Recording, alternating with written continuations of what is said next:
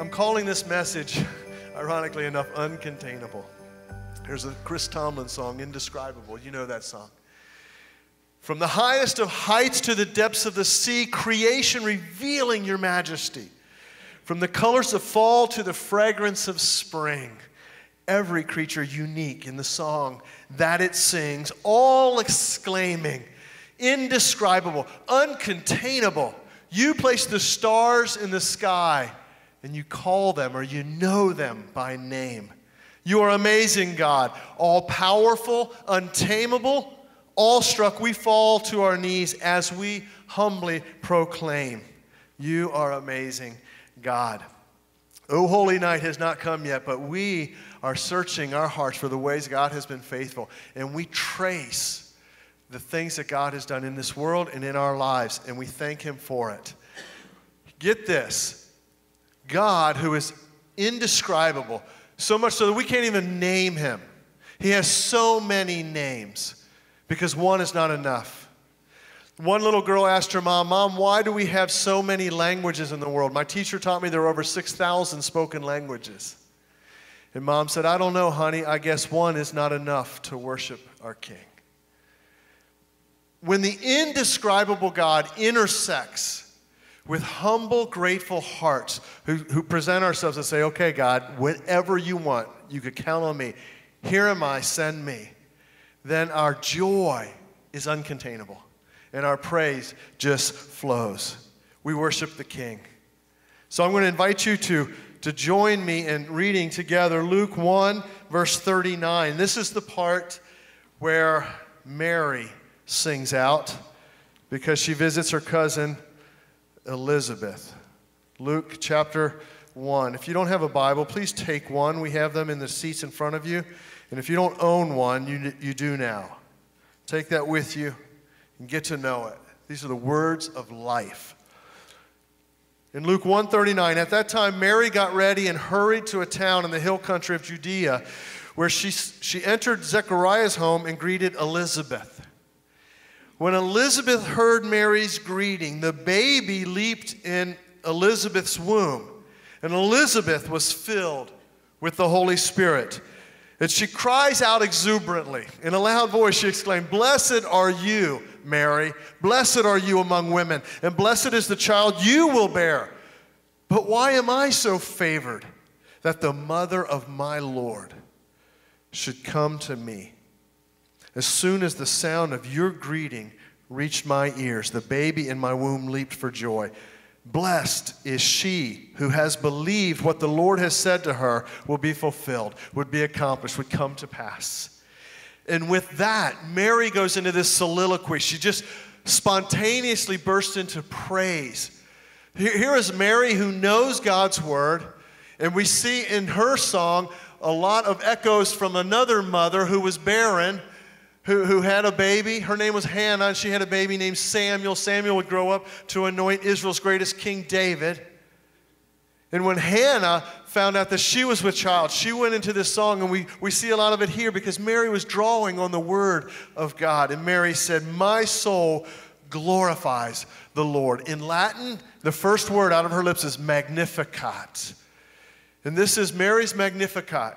It's been sung by choruses, it has been whispered in monasteries for centuries, it has been played out in, in, in pageants Mary says, My soul glorifies the Lord. How can it not? My spirit rejoices in God, my Savior. He's been mindful of the humble state of his servant. For now on, all generations will call me blessed, and do we not? For the mighty one has done great things for me. Holy is his name. His mercy extends to those who fear him from generation to generation. He has performed mighty deeds with his arm. He has scattered those who are proud in their inmost thoughts. He has brought down rulers from their thrones, but has lifted up the humble. Mary says, The God with which we have to do is the God who turns this world upside down. The people who thrust themselves to the front the, the people who put themselves on top and put their foot on the necks of others are the ones who are going to be toppled, and the humble will be lifted up. We're living in that day of reckoning right now, aren't we? in Hollywood in Washington, D.C., and across our land.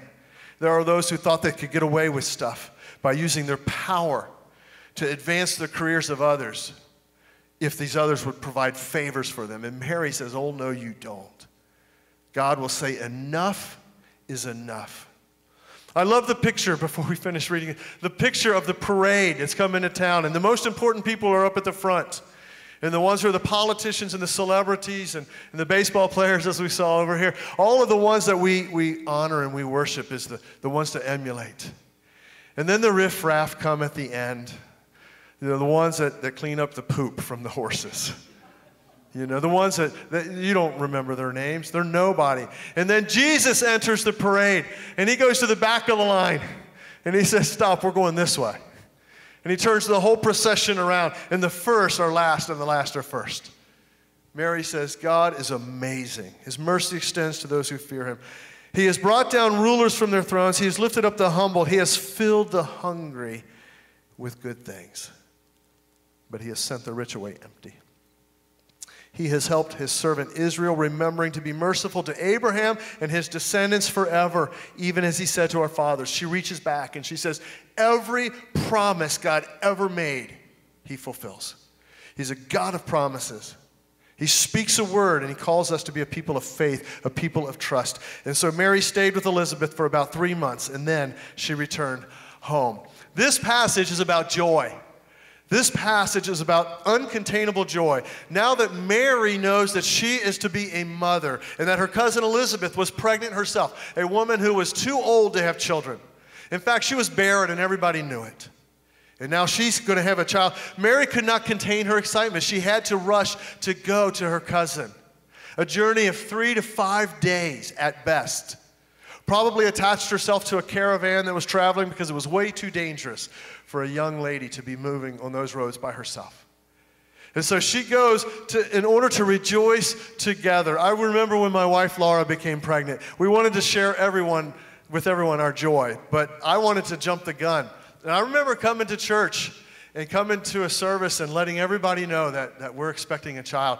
And then the next service was the one my wife came to, and I went to her and I said, Hey, is it okay if I share with the church that we're uh, going to have a baby? I'm not sure what the words were she said, but I read it loud and clear in her eyes. And she's like, she said all of this. We haven't told anybody yet. You know, we, you can't jump the gun here. And so I said, uh, uh, the cat's out of the bag. I already told the last service. You know, I should have just asked for forgiveness, not permission at all. But I could, I was uncontainable. I got up and I shared with everybody. And let me tell you, that wasn't even our first child, that was our sixth child. That happened here in this church. We were standing right over there, and I'd already told the 8 o'clock service, and she's still working on forgiving me for that. Joy, listen, Mary, this is her first child. Elizabeth, this is her first child. The joy, I know the child's not even here yet. We're not supposed to sing the carols yet. we can't contain it. We're going to sing because God is faithful yet again. Joy is the major theme of this story. You see three people rejoicing for everything God has done in this story. There's the joy of Elizabeth. As Mary entered her home, she was most likely surprised to see her. Three to five days to get there, and oh, what are you doing here, you know? But it was Mary's greeting that set off her joy. It was more than, hey, good morning. Anybody home? Surprise. Greetings were normally blessings meant to bestow peace. And as Mary entered the house, Elizabeth heard her greeting and she was immediately filled with God's Holy Spirit. She sang out in spontaneous praise, and the one word that came to her lips was blessed. Blessed, not am I, blessed are you. And she said, Blessed is the one who believed. I, I wonder if this is against the backdrop of her husband, who's not even speaking. The angel said, Because of your unbelief, you will not even be able to sing your praises to God. Not until the child comes, and then your lips will be loosed. But for now, because you heard God's word and you did not believe, you're paying the consequences in the meantime. Elizabeth says to Mary, Blessed is the one who believed God's word. Blessed is she who's believed what the Lord has said. I said earlier, God is a God of promises. He calls us to be a people of faith, a people of trust. God is a God of promises. He gives us many, many promises. And believe me, your faith will be tested. Everything around you in this world is screaming against God. and is screaming against you to say he is not worthy of his word. That's a Mickey Mouse, mamby-pamby faith that you're hanging on to you. We're a people of science. We're a people of the world. We're a people of intellect. We're a people of experience. God does not answer the way that you're expecting him to answer. Talk to Elizabeth. God spoke to her in a different way. Everything will scream against you and have you questioning God. The serpent will come to you in the garden and say, Is it true that God says that you are not allowed to eat from any of this stuff here? He'll come to you if you're Sarah. You're past the age of childbearing and still no son. Promises become precious when everything points out their impossibility. I hope to God you were here last week when Josh Wicker brought the Word of God to us. And if not, get online and see when he brings the message of the impossibilities. Because Josh Wicker said, when it's impossible to you, it's just right for God. Whatever is impossible to you, that's just right for God. For nothing shall be impossible for God. You are blessed, Elizabeth says, when you take God's word and you trust Him, even though it's crazy talk. No man is involved and you're pregnant. Who's going to believe that? You believe that, and you are blessed because of it. Elizabeth was overjoyed when Mary, the mother of her Lord, came to her. The second person we read about is the joy of the unborn son, John.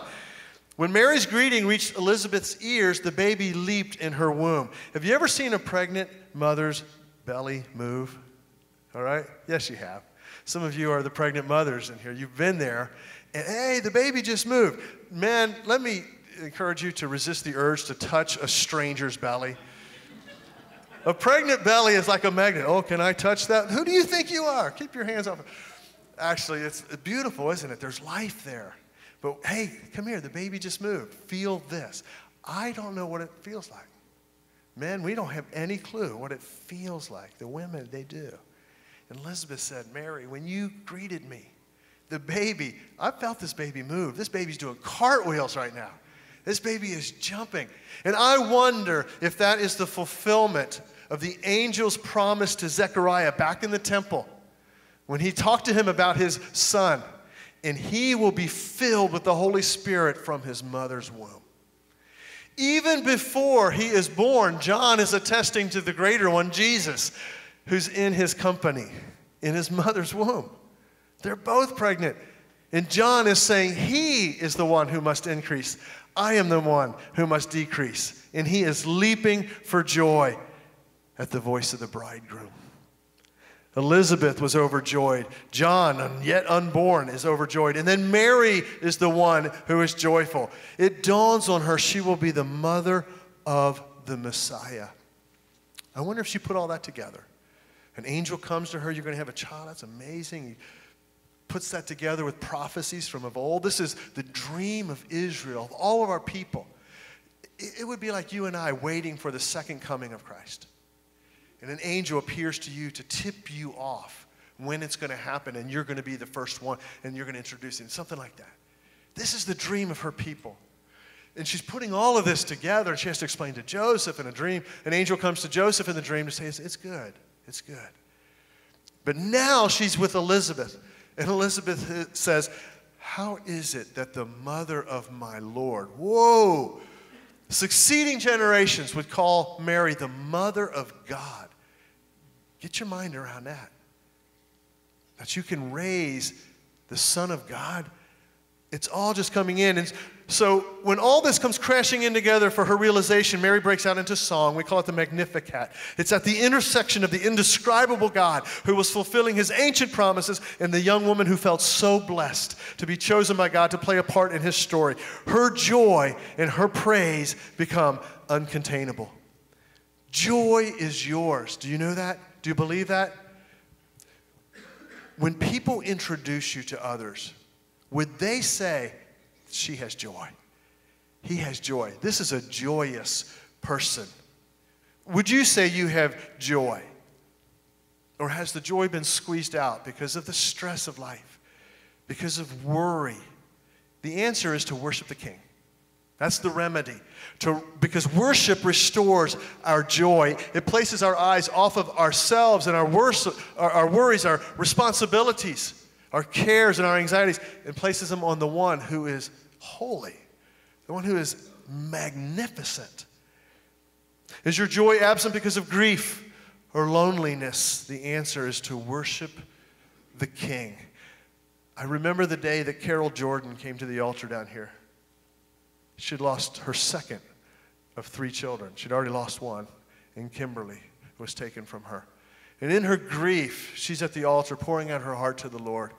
And some time had passed, but, but grief, it lingers, doesn't it?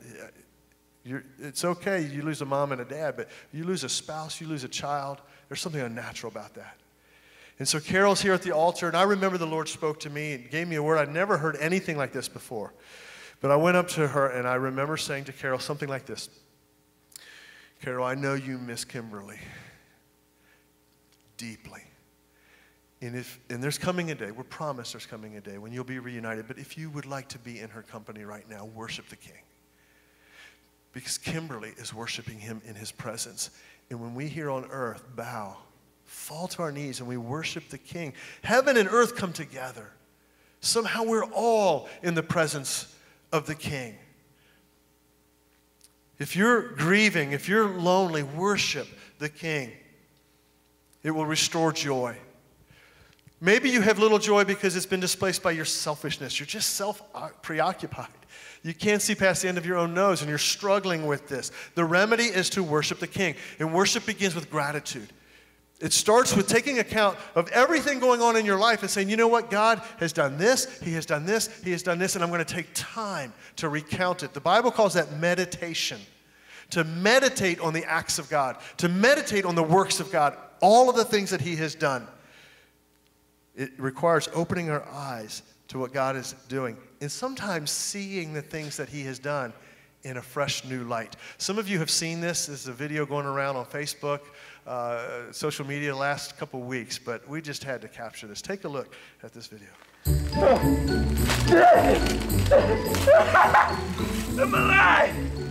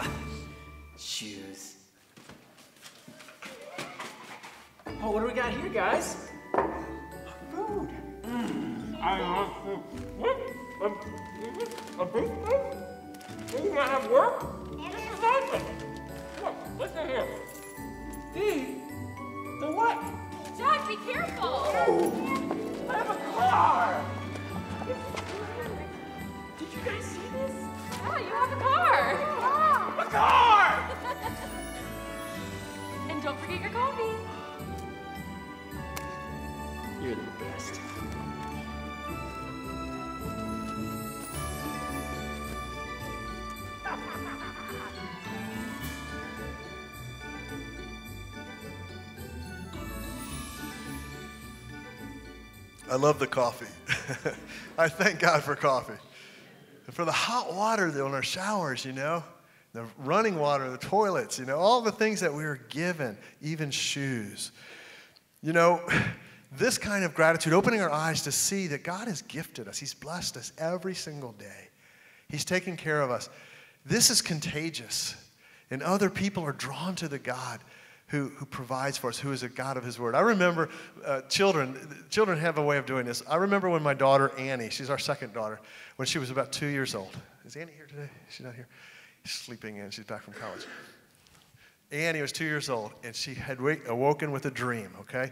And she wanted to tell everybody her dream. And in her excitement as a two year old who's just mastering the language, she was just going through it with mommy. And she says, And mommy, you were there in the dream. And da da da. And Sarah Beth, she was there in the dream. And then, and, and uh, uh, uh, who's that man who lives with us? Laura says, Your daddy? Yeah, yeah, daddy was in the dream too. what? Who is that man who lives with us? I don't remember the dream, but I remember that part. Am I not around here enough? Do I need to work from home? but when you're excited, it just spills over, doesn't it? It just, it just comes out, you know, in all of its beauty and all of its mess. And we're able to, to share that love with one another. This week I was blessed in meeting a guy by the name of Mahdi Fatih. Mahdi is Persian, he's from Iran. And uh, he, he just, he was on this quest back home and he asked God, I don't understand. One God? So many people in the world. How, how can all the people in the world with so many different languages worship one God? If you are true, would you show yourself to me? And then he told me this story this week of, of how God has been chasing him. And God has been opening his eyes to see him in the little things. And now this guy is here in America. He has got a bachelor's degree, two masters, I believe, maybe three, and a PhD. He has, ser- he has worked in France, in Paris, France. He's worked in Belgium. He went to uh, Singapore to, to go to grad school. And now here in the States, and four weeks ago, he ba- got baptized as a follower of Jesus Christ. And he came in. I thought he was going to tell me about that whole story of how he came to. He just told me about the ways God has shown up this week. And he said, I didn't know that God speaks to you and you can hear him. Okay? I got to tell you a very quick story. My daughter Gracie is up at Pittsburgh in college, and she wakes up every morning with two roommates. Her alarm means nothing. Okay, some of you know what that means. The alarm goes off, and it just, you hit it, and you don't even know that you hit it. And so she's dependent on Libby, who, who sleeps in a bed across the room here. And Libby always leans over and says, Gracie. I guess she whispers not to wake up Evie, the other girl. She, Gracie. And that wakes her up every time. Well, on Wednesday this past week, Gracie was the last student in the room. The other two had already gone home for Christmas. And so Gracie didn't know how she was going to wake up to take her exam at 8 o'clock in the morning. So she called Libby or texted her. She said, Could you record yourself whispering my name? she did. She sent it to Gracie. Gracie put it in as her alarm. Another girl on the hall for backup came, I'll, I'll, wake you up. She came into the room about the very same time. Gracie's out, and they both hear, Gracie. And Gracie woke up.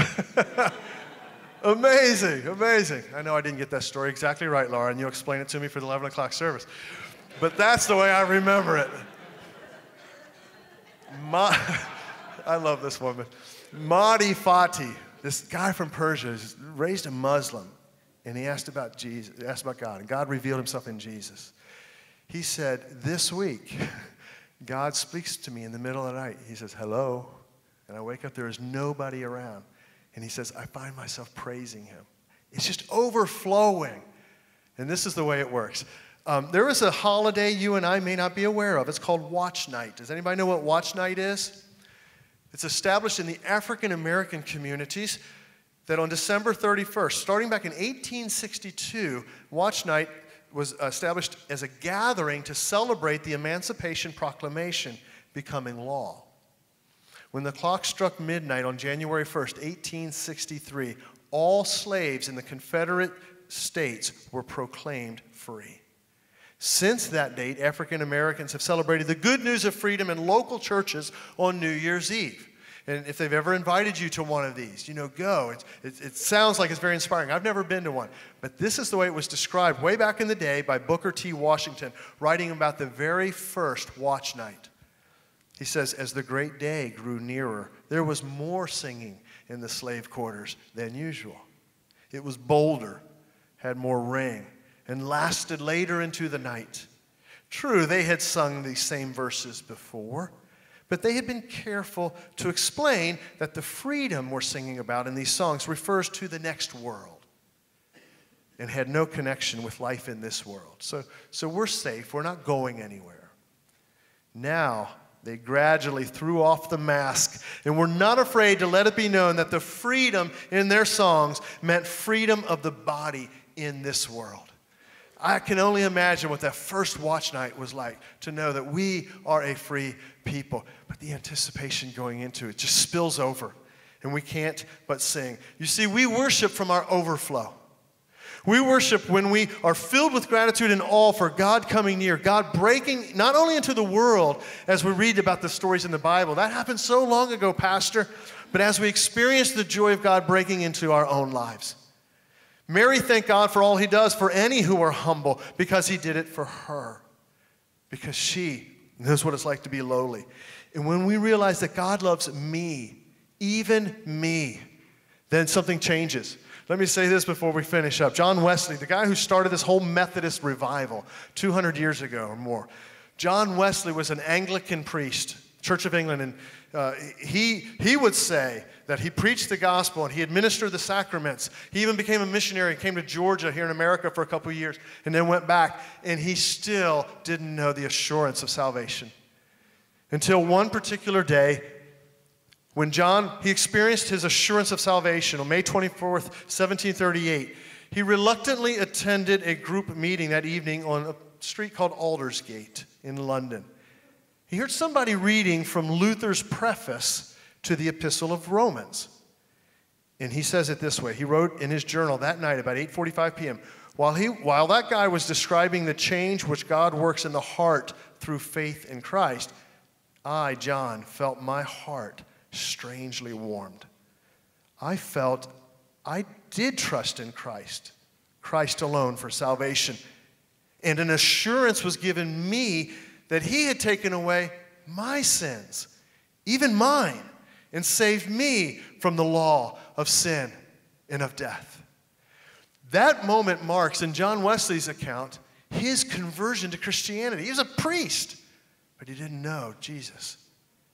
And he said, What I have been preaching for the masses is that these promises are for all people.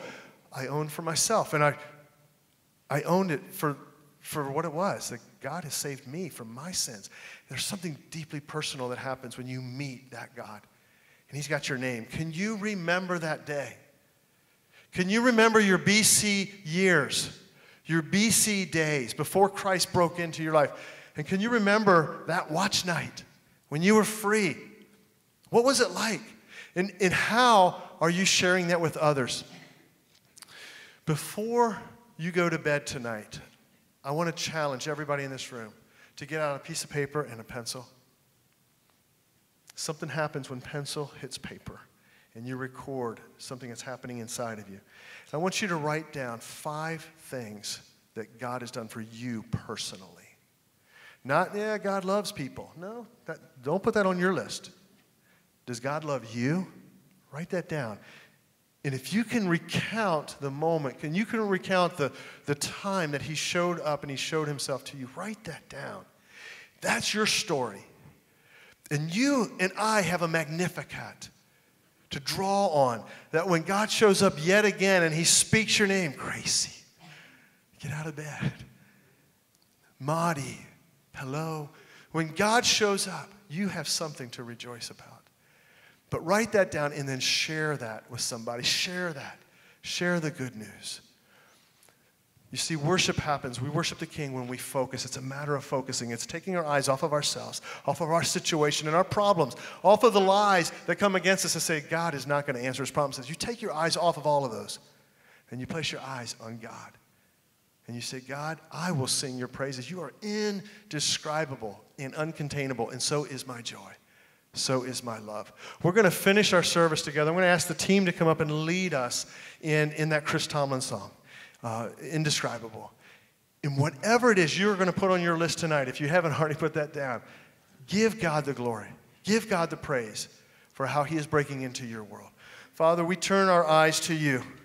Hear us as we sing your praises. Hear us as our hearts are uncontainable for all the things that you are doing in our lives.